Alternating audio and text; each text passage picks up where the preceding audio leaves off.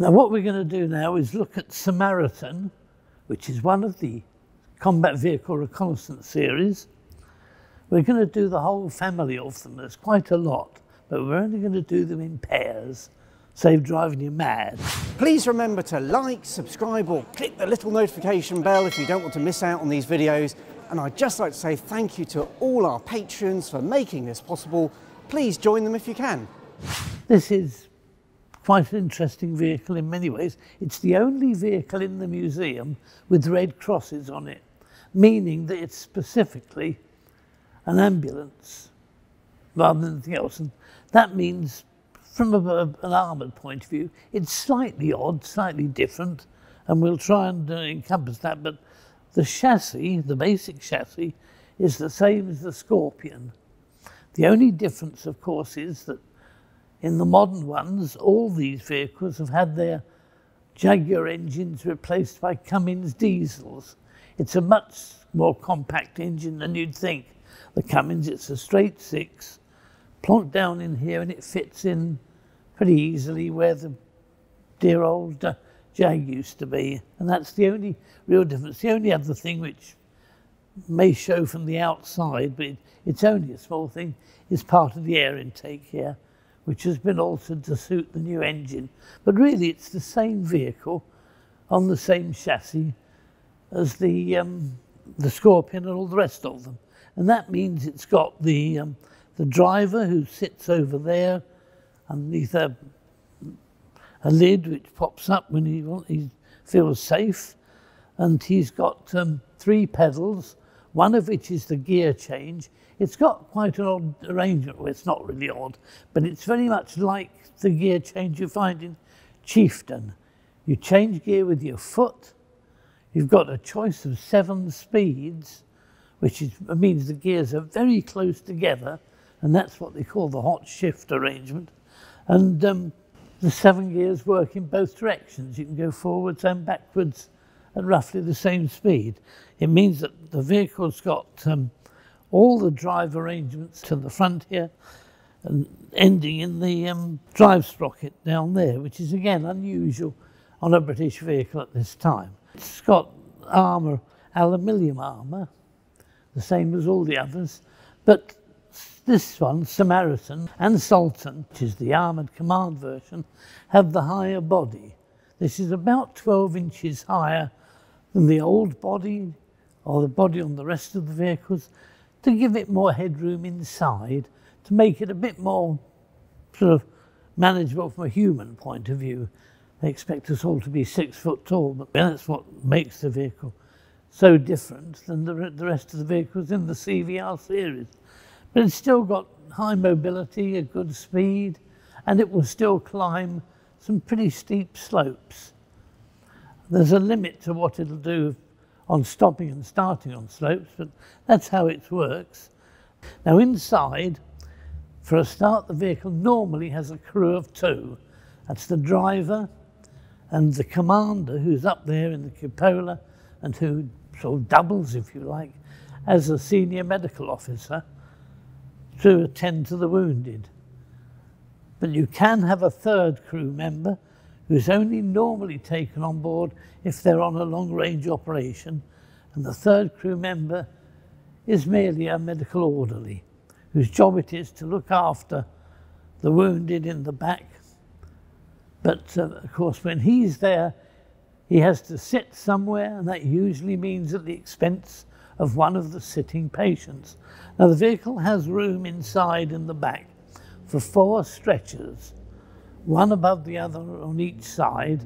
Now they have a maximum of four stretcher cases normally. If they are taken in a mixed bag, then they'll take up two on stretchers and three walking wounded sit, sitting facing them, I mean, or any combination. But that's how the vehicle's arranged. Now, being an ambulance, it is not permitted for the vehicle to have an offensive armament. So it has no machine gun mounting on the top. The nearest thing to armament that it carries, and it is allowed to carry them, are these smoke discharges, which are done to put down a smoke screen so that the vehicle can get away if it does come under fire. but they aren't really regarded as an offensive weapon. They're a means of defence as much as anything else. The exhaust from the engine, as you can see, goes up the front there and along the top. The very top is normally a stowage box. In all kinds of junk can go in there. It's mainly to take in um, camouflage covers which the vehicle needs when it's not operational. But that is really how the Samaritan operates. Now the other one, it's very similar to, in fact it's so similar that without the red crosses painted on it, you couldn't tell them apart. And that's a vehicle called Sultan, which was designed as an armoured command vehicle. Now it has a crew, a normal crew, of about six people. There's the driver, of course, and the commander up there, and often sitting next to him another radio operator, and the other three are people sitting in the back working a rolling map um, display or acting as staff officers. Now, the, um, the Sultan, one way you can tell it from this one is that it has a detachable penthouse actually rigged over the back. Normally it's folded up in such a way that you can hardly see it. It just looks like the back of any vehicle. But when it's stationary, when it's in a command setup, you can extend this penthouse, you can extend it backwards, and it provides roughly the same amount of space as you've got in the vehicle itself.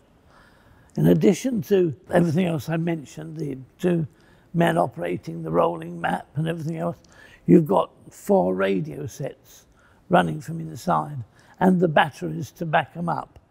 And that's another thing that makes the, the vehicle a bit outstanding. The Sultan is a distinctive vehicle when you see it. It used to be very distinctive. They used to have a thing called a Clark mast, which was like a, a giant telescopic wireless aerial, oh, about 50 foot high, I think, at the front of the vehicle. And that gave it was better for long range transmission. But nowadays, with the arrival of the latest generation of um, radio sets, you don't really need that big, powerful aerial anymore. It's been done away with, and the vehicle can rely on its ordinary radios and the aerials which stick out the roof. But otherwise, they look very similar. The same mechanics, the same technique for driving all the way through from between the two. Same stowage box. The only thing is, of course, Sultan will have a machine gun mounting by the commander's cupola. But, um, to look at, they're almost identical. You'd have a job telling them apart without the red crosses. And you couldn't think of anything more diametrically opposed to uh, an ambulance than a command vehicle, but they, that's how they work.